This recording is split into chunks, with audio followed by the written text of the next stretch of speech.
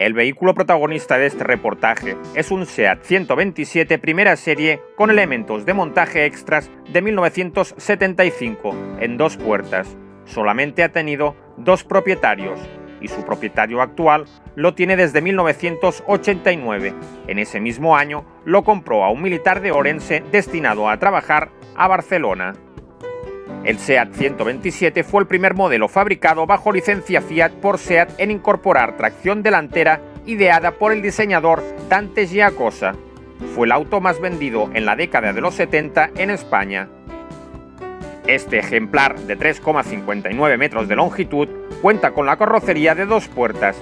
La calandra delantera es del tipo nido de abeja, con el logo de SEAT rectangular en rojo con los intermitentes delanteros blancos y los laterales planos tipo botón. Era un auto con un amplio habitáculo, con un aprovechamiento del espacio del 80% de la superficie habitable. Era muy manejable en ciudad y cómodo en la carretera. El capó envolvente sobre las dos aletas, su línea lateral ascendente hacia la zaga y sus paragolpes cromados lo hacen un auto inconfundible de la década de los 70. La versión Extras venía con luneta térmica, asientos reclinables más anatómicos, montaba alternador en vez de dinamo, apoyabrazos en las puertas de mayor tamaño, con un adorno cromado, bolsas portaobjetos en las puertas y molduras en vierteaguas, parabrisas y luneta posterior. La calandra delantera tipo nido de abeja montaba un logo rectangular de la marca en rojo y dos bigoteras cromadas a cada lado, su carrocería de caja portante, con elevada resistencia del cuerpo central a la torsión y flexión, fue estudiada y realizada para absorber un esfuerzo notable por deformación, asegurando la integridad del vehículo. Su propietario nos comenta que el vehículo ha cambiado seis veces de color. Originalmente salió de fábrica en color amarillo, luego se pintó en bronce, negro, azul, otra vez negro y finalmente en rojo. Sus espejos retrovisores son del SEAT 127 Fura y originalmente no llevaba espejo derecho, pero que se ha añadido para dar más seguridad en la conducción. Originalmente montaba tapacubos cromados, que han sido sustituidos por unas llantas deportivas de cuatro radios de la época. Monta neumáticos Michelin nuevos 155-70 R13 bueno, el motor es un 903 de Fiat. O sea que ahí no es el original. El motor no es el suyo. Y si no, llevaba un 903 de SEAT. ¿no? Seat, sí. O sea que petó y, y salió este. En el habitáculo del motor es complicado hacer reparaciones en él, concretamente en la caja de cambios y en el filtro de aceite. En cambio, el delco, las bujías, el carburador quedan a la vista. La rueda de recambio situada en el vano motor era algo molesta, ya que ocupaba mucho espacio. Motor delantero transversal de 4 cilindros en línea. Su cilindrada total era de 903 centímetros cúbicos con una potencia máxima de 47 caballos DIN a 6.200 revoluciones por minuto. El diámetro y carrera de los pistones era de 65 por 68 milímetros. El cigüeñal estaba apoyado sobre tres apoyos. Su distribución era de válvulas en cabeza y árbol de levas en el bloque. Estaba alimentado por un carburador de un cuerpo vertical Bresel tipo 32. El material del bloque era de fundición y el de la culata era de aluminio. Este propulsor contaba con un sistema de respiración cerrada del motor para evitar que los gases producidos en los cilindros y los vapores de aceite se escapen a la atmósfera. El cárter tenía una capacidad para 3,9 litros de aceite. El sistema de la refrigeración estaba formado por el radiador y el vaso de expansión. La bomba centrífuga y termostato estaban colocados en el conducto de salida de agua colocado en el radiador. El cambio era de cuatro velocidades sincronizadas y marcha atrás. El motor arranca con facilidad, se calienta rápidamente y tiene un funcionamiento que da satisfacciones. Su embrague funciona con suavidad y progresividad y tiene suficiente potencia de fricción para soportar el par motriz de este propulsor. Este es el líquido de frenos. Y el de abajo, Este es el de los limpia que le puse con un botón porque llevaba aquello de goma que se Ah, vale. con el tiempo se estropea y le he puesto un automático. no, ahí el ventilador. Tenemos ahí el filtro de aire y debajo habrá el carburador. Exacto. Aquí tenemos el delco, el filtro de, de aceite Este será el líquido del anticongelante, ¿no? El vaso de expansión, bobina de encendido, la caja de fusibles.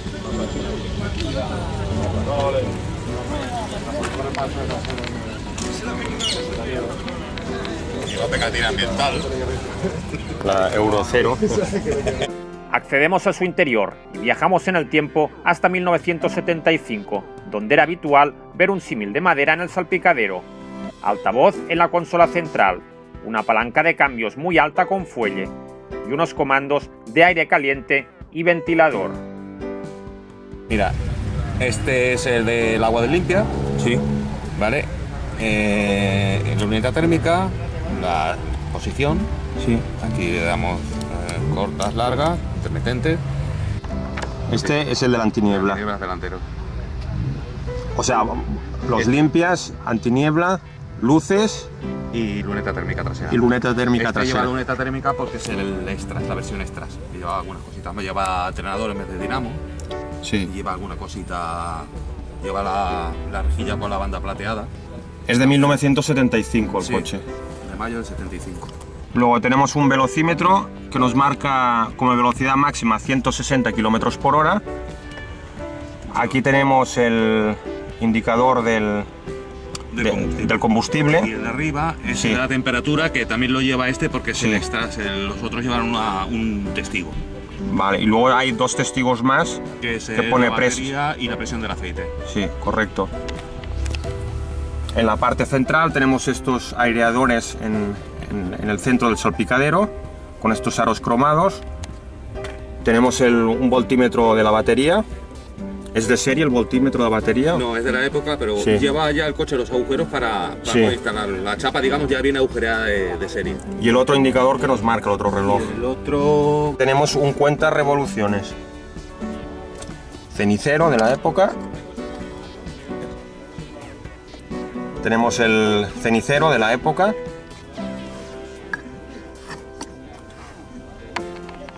Encendedor, los mandos de la calefacción. La radio, el, el salpicadero tenía un símil de madera. Un cambio de, de cuántas marchas? Cuatro marchas. Una guantera. ¿Llevaba llave o se ha añadido? No, es con llave, es un accesorio de la época. Para este coche, para este coche. Muy escaso. Y luego estos números digitales. Esto es un reloj digital que le puse yo que no se lo tendría que haber puesto. Y, y el volante deportivo es- será de un Fiat De un 127. 127 abajo.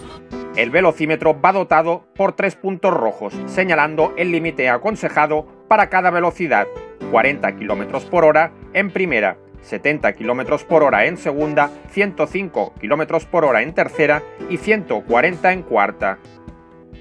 Debido a sus 47 caballos y línea aerodinámica, alcanza una velocidad máxima de 140 km por hora y alcanza los 100 km hora en 20,5 segundos, partiendo de cero.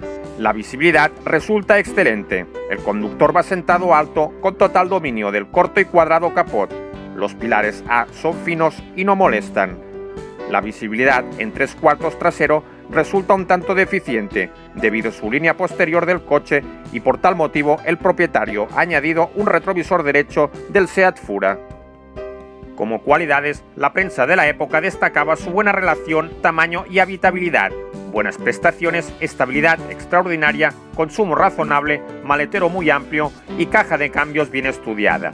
Como defectos, la suspensión era bastante seca, el motor algo ruidoso, los asientos delanteros eran deficientes y la puerta del maletero era pequeña. El 127 resulta un automóvil perfectamente adaptado a los viajes largos y puede afrontar con igual eficacia los problemas de circulación y aparcamiento ciudadanos. El cristal del parabrisas tiene una goma de estanqueidad con perfil cromado embellecedor, insertado en el centro de la misma.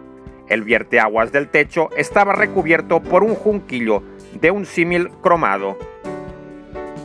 El sistema de frenos es mixto, con discos delante de 227 milímetros y tambores de 185 milímetros detrás, con doble circuito independiente y corrector de frenada en las ruedas traseras que regula la presión del circuito posterior en función de la carga dinámica y estática. La frenada es potente, segura de acción progresiva constante y ofrece una óptima resistencia al calentamiento. Su conducción podía verse alterada por blocajes de frenos en mojado, por una deficiente posición del volante y pedales y por un cambio de marchas duro y una visibilidad escasa en maniobras.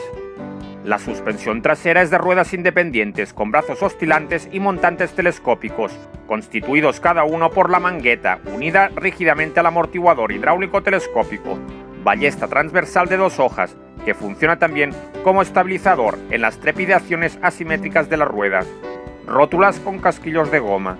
El depósito de combustible tenía una capacidad para 30 litros.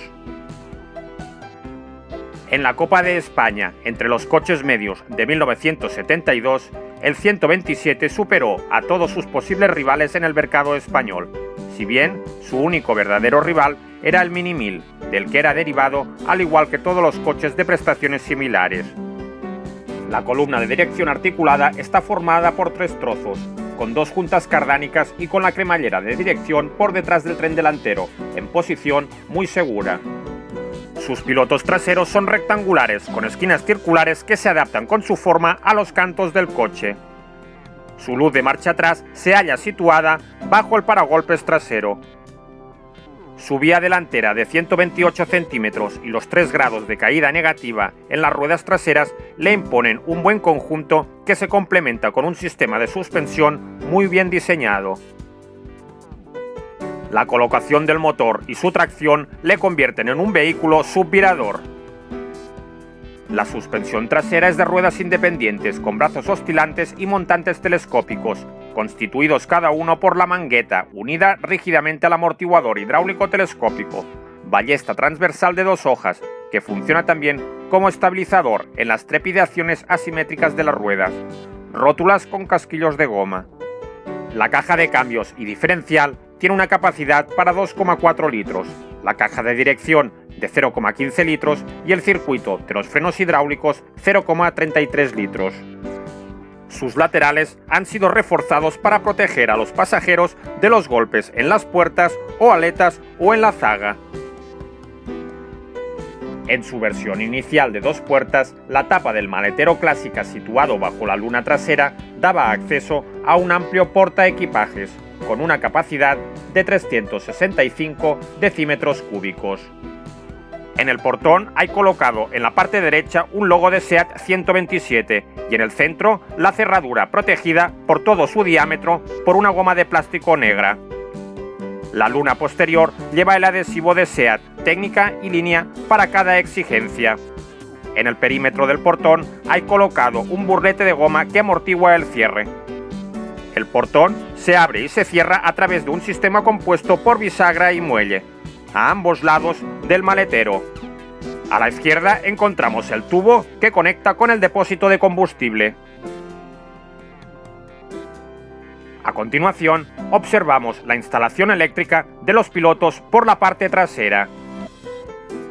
El consumo medio era de 5,8 litros a los 100 el consumo por carretera era de 7,9 litros y el consumo urbano era de 10,36 litros. Su frontal tiene una línea muy italiana, con los faros encastrados con una simetría y una verticalidad que se convierte en aerodinámica por las líneas de frente hacia el capot.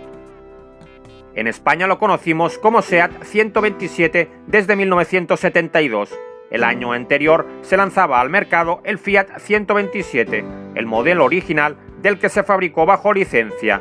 En 1971, Fiat lanzaba al mercado el sustituto del Fiat 850, con una concepción radicalmente opuesta y muy moderna para su época. La segunda versión fue a partir de 1975 hasta el final de la producción en 1977 de la primera serie. Los cambios estéticos que recibió para tener el modelo actualizado fueron la incorporación del color amarillo auto en los indicadores de dirección frontales y otros intermitentes laterales con nuevo diseño más sobresalientes en las aletas delanteras, además de la introducción del acabado LS que contaba con una calandra diferente integrada con nuevo logotipo de SEAT en color plata. Su apariencia frontal nos recuerda mucho a la del SEAT 133, ya que este se inspiró precisamente en el 127.